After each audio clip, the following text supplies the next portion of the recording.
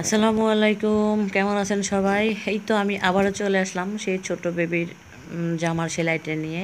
এর আগের ভিডিওতে দেখাইছি কীভাবে কাটিং করতে হয়, এটা হচ্ছে সেলাই করা। আর সেলাই করার জন্য আমি প্রথমে যেটা করব, এটা হচ্ছে যে জামার যে গলাটা কাটিং করছি, ওইখানে আমি পাঁচটা করে কুচি দিয়ে নেব। তাহলে দেখা যাবে কি মানে গলাটা দেখতে সুন্দর লাগবে। আর যদি ঘন করে কুচি দেন, তাহলে ছয়টা করে দিতে পারেন। তবে একটু বড় করে কুচি দিলে পাঁচটা করে কুচি দিলেই হয়ে যাবে। এখানে আমি দুটা পাটটাতেই দুটা গলাতে আমি কুচি করে নিয়েছি। আর কুচি করলে, করার পরে দেখা যাবে কি, একটা ভি শেপ না বাট গোল শেপের মতো এই ধরনের একটা শেপ হয়ে যাবে। যখন পাইপেনটা করা যাবে, তখন টোটালি ভালো বোঝা যাবে। আর এটার যে বগলের যে সাইডটা আছে, এই সাইডটা আমি কাপড়টা উল্টিয়ে নিয়ে, এখানে হচ্ছে আমি ডাবল পাট আড়া কাপড় দিয়ে পাইপেনটা করে নিচ্ছি আমি। এই পাইপেনটা সবসময় যেন আড়া কাপড় মানে ডাবল পাট করে পাইপেনটা করলে, পাইপেনটা সুন্দর হবে।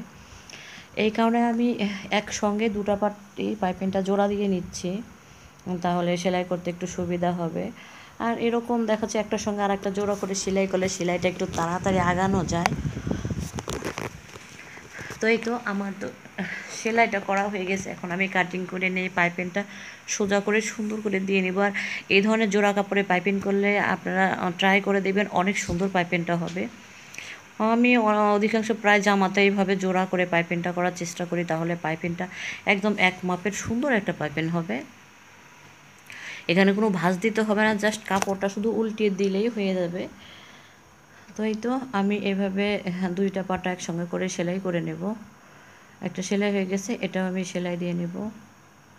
আর সেলাই কাজ অবশ্যই ধৈর্য সহকারে করতে হবে। আমি প্রত্যেকটা ভিডিওতে এই কথা অনেকবার অনেকবার বলে এসেছি যে সেলাই কাজ করতে হলে ধৈর্য নিয়েই সেলাই করতে হবে।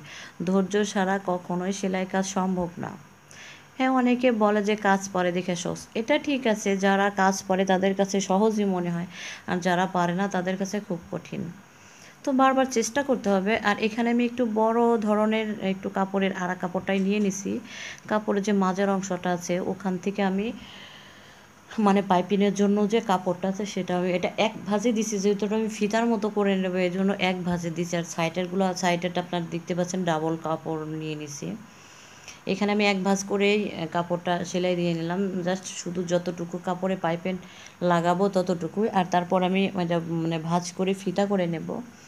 আর এই ফিতাটা করব আমি যে কাঁধের যে ফিতাটা বানবো, শেষ মাথাটা আছে, শেষ মাথা থেকে আমি ফিতাটা মানে বানানো শুরু করব। আর এই ফিতাটা একটু চওড়া হবে মানে একদম চিকন হবে না, কারণ এটা একটু চওড়া হবে। এক, যতটা চিকন করে আমি পাইপেনটা করব, সেই পরিমাপেই ফিতাটা হবে।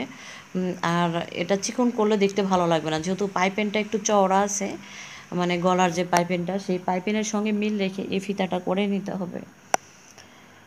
তো আর কি এইভাবে আমি ফিতাটা তৈরি করে নিচ্ছি। নিজে হাতে একটু এক সমান করে ভাঁজ করে নেব আর পাইপিংটা দিয়ে নেব।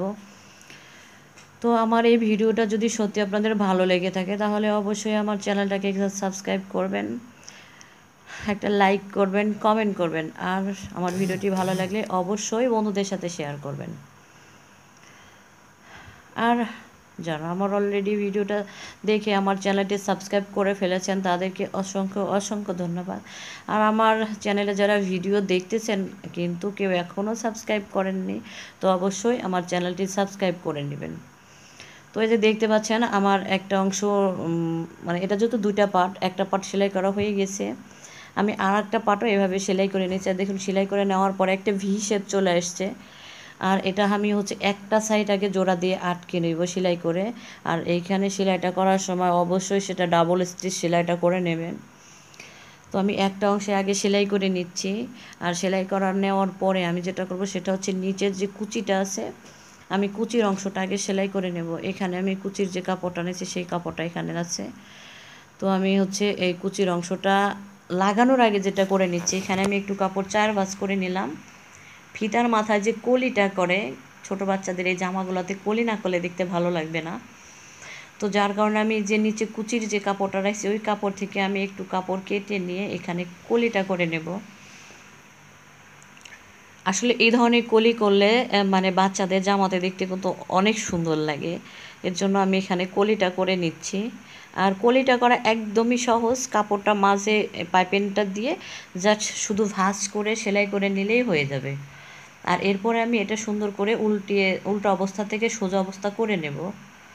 তাহলে দেখতে পাবেন সুন্দর একটা কলি হয়ে যাবে। তারপরে আমি আমার নিজের ডিজাইন মতো এটা কেটে নেব। এটা কলিটা যেহেতু একটু বড় করা আছে, আমি এতটা বড় কলিটা করব না। আমি কলিটা আর একটু ছোটো করে নেব, কারণ যেহেতু জামাটা অনেক ছোট, সেই হিসাবে কলিটাও আমার ছোট করে দিতে হবে। বড় জামায় বড় কলি, ছোট জামায় ছোট কলি। এটা হচ্ছে ছোট ফুলের কলি, তো এর জন্য একটু কলিটা ছোট হয়ে গেছে। এই তো আমি সুন্দর করে কেটে, দেখেন দেখতে অনেক সুন্দর লাগতেছে। এভাবে আমি ও দুটাতেও কলিটা করে নেব। এই তো দেখতে পাচ্ছেন, আমার দুটা ফিতাতেই কলি করা হয়ে গেছে। কলিগুলো একই মাপের কলি হয়েছে। এখন আমি যেটা করব যে কুচিটা করার জন্য নিচের যে অংশটা আছে, এখানে সামান্য একটু যতটা কম করে আপনারা সেলাই করতে পারবেন, ততটাই কম করে সেলাইটা করে নেবেন, তাহলে দেখতে সুন্দর লাগবে। তো এখানে আমি আমার মতো চিকন করে দিয়ে নিলাম, আপনারা যদি এর চেয়েতেও চিকন করতে চান, করতে পারেন, তাহলে দেখতে অনেক সুন্দর লাগবে।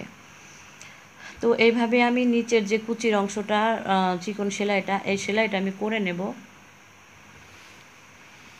এই সেলাইটা আগে করে নেওয়ার পরে তারপরে আমি কুচিটা দিয়ে নেব। তা না হলে মানে ভালো লাগবে না। আবার ভালো লাগবে না বলতে কি মানে কুচি করার পরে নিচে সেলাইটা করা যায় না। অনেক কষ্টকর হয়ে যায়। এই কারণে আমি হচ্ছে নিচের সেলাইটাই আগে করে নিচ্ছি।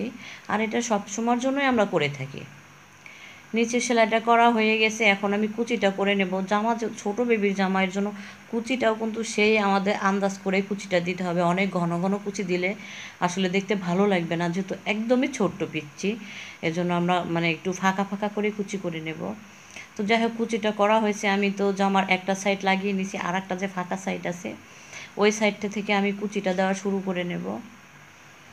আর কুচিটা দেওয়ার সময় উল্টা সিধা দেখে তারপরে কুচিটা দিয়ে নেবেন। এই তো আমি কুচিটা জোড়া দিয়ে নিচ্ছি জামাটার সাথে। আর একটা জোড়া দেওয়া একদম সহজ ব্যাপার। আমার জোড়াটা দেওয়া হয়ে গেছে। এখন আমি এইখানে একটা চাপ সেলাই দিয়ে নেব। চাপ সেলাই দিলে দেখা যাবে কি কুচিটা নিচের দিকে নামানো থাকবে। জামাটা দেখতে ভালো লাগবে। তো এইভাবে আমি পুরোটা কুচি দেওয়া শেষ হয়ে গেছে। এখন আমি এই যে আর একটা সাইড আছে কর্নার এই সাইডটা আমি লাগিয়ে নিব। এই সাইডটা কুচি দেওয়ার পরে লাগালে কি দেখ মানে নিজের জন্য কাজ করতে সুবিধা হয় আর দেখতেও ভালো হয়। ভালো লাগে। এই কারণেই হচ্ছে আমি এই কাজটা সবসময়ের জন্য পরে করি। তো যাই হোক, এই অংশটাও সেলাই করা আমার হয়ে গেছে। এই তো রেডি হয়ে গেছে আমার ছোট বাচ্চার সেই ছোট্ট একটা জামা। এই জামাগুলো কিন্তু অসম্ভব সুন্দর। দেখতে কিন্তু খুব ভালো লাগে। এই যে দেখতে পাচ্ছেন জামাটা দেখতে কত সুন্দর লাগতেছে। অনেক সুন্দর। শুধু আমি জামাটা নিজে তৈরি করছি বলে না মানে আসলে এই ধরনের ড্রেসগুলা দেখতে খুব ভালো লাগে। ছোট ছোট জামা, ছোট্ট একটা বেবির অনেক ভালো লাগে। তো যাই হোক, সবাই ভালো থাকবেন, আমার জন্য এবং আমার ফ্যামিলির জন্য সবাই দোয়া করবেন। আল্লাহ হাফেজ।